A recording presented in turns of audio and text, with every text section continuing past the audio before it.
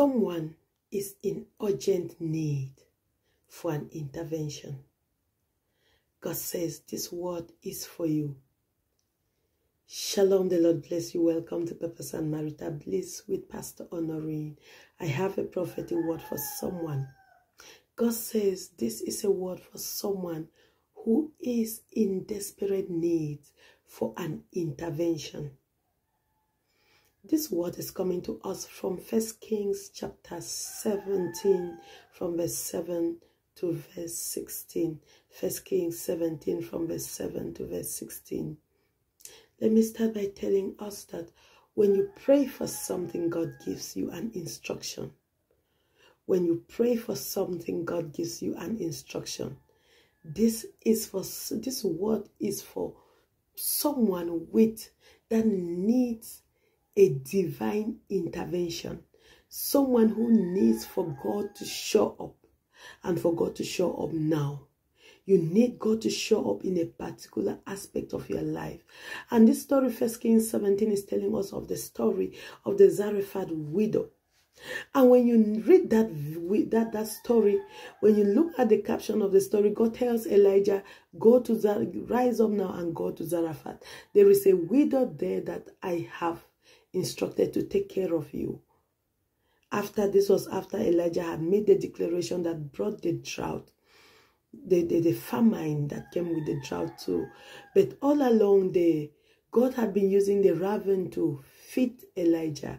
But the brook at some point got dry and God sends Elijah to this widow, to the Zarephath widow, who had a son.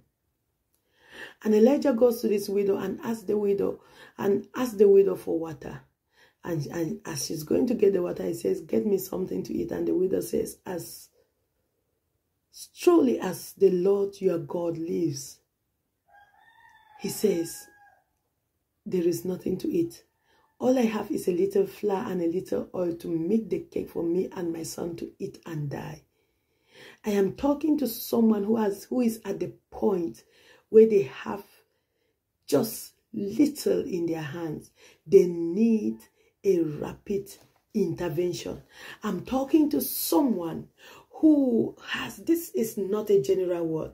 I'm talking to someone who is at the verge of being sent out of a house.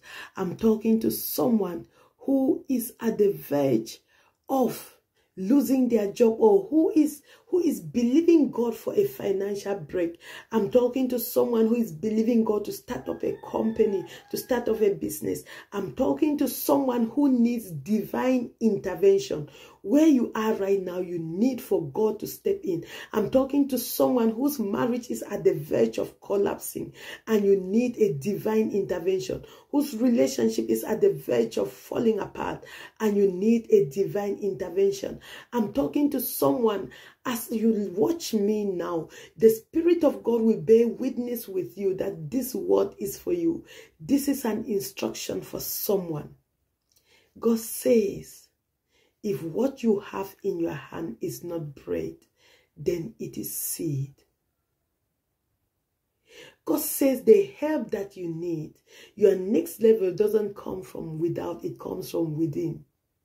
What you have in hand will make room for what you are looking for what you have in your hand will make room, will make a way for what you are believing God for. When you pray for something, God gives you an instruction, and hidden in that instruction is the key to that thing that you've prayed for. Someone you are desperately believing God to show up. God is placing a demand for a sacrificial giving, for a sacrificial seed. God is placing a demand for a sacrificial seed, and the heavens will open over you. God is placing a demand. Had it been this widow held back what she had, had it been this widow saying no, are all and the, guess what? The bible says the widow made for elijah for elijah first. The widow decided to obey the instruction and she made for elijah first. And guess what? Her her jar of flour didn't run dry her, her jar of oil never ran dry because she obeyed an instruction. Someone God says, what you have been praying for, what you have been trusting Him for, is hidden in an instruction. And it is your obedience to that instruction that is going to open that door for you. The thing is, God will never force you to obey an instruction. But the person that the word is for will know and has the conviction and knows exactly what God expects of them and how much God is laying in their heart to sow. It's not an offering. This word is not an offering. It is a sacrificial seed by someone. And this seed is meant to be your seed of faith, telling God it is either you do it or you do it.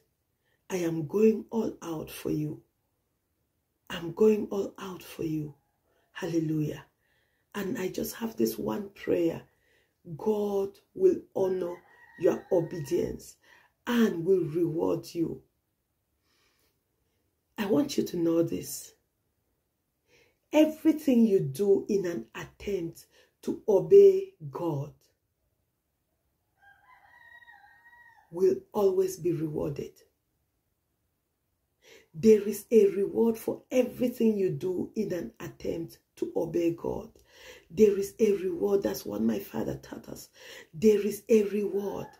Everything you do in an attempt to obey God will not go. Nothing you do in an attempt to obey God will go unrewarded.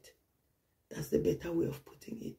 So everything you do because you want to obey God, because you seek to obey God's instruction, will be rewarded. So as you stretch yourself, as you obey the instruction, God will meet you at the point of your need. So your seed should not be a general seed. It should have something tacked to it. One thing you are believing God for. One thing you are trusting God for, you are telling God, I'm going all out to obey this instruction and I'm believing you for this one thing. I'm believing you for this one instruction. I'm believing you for my marriage. I'm believing you for my finances. I'm believing you for a job. I'm believing you. Your seed should not be general. It should be a particular thing that you are trusting God for. Tack it on your seed. Check the, the description box for the Cash App, the PayPal, or you can simply attach your request and hit on that super thanks and obey the instruction. This is the first time I'm giving this kind of word. And I would not just come and give a word that I didn't hear God tell me. This is an instruction for someone. If it's not for you, praise God. If you don't need anything from God, praise God. But the person that this word is for, when they see it, they are going to know because they are in a tight corner and only God can take them out of it. Someone you're going to challenge yourself and plant a seed you've never planted before and watch God do great things in your life. God bless you. Shalom.